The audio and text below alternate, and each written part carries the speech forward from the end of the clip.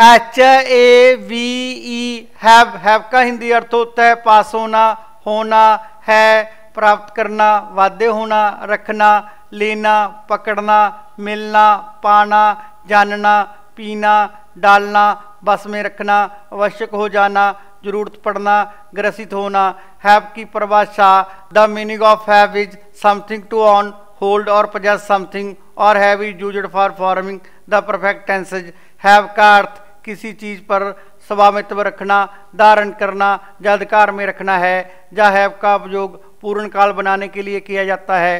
दोस्तों इस शब्द को सेंटेंस से हम और अच्छी तरह समझ लेते हैं।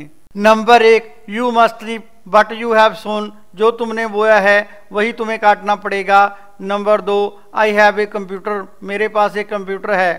दोस्तों ऐसी और वीडियो देखने के लिए आप हमारे चैनल को लाइक शेयर और सब्सक्राइब ज़रूर करें।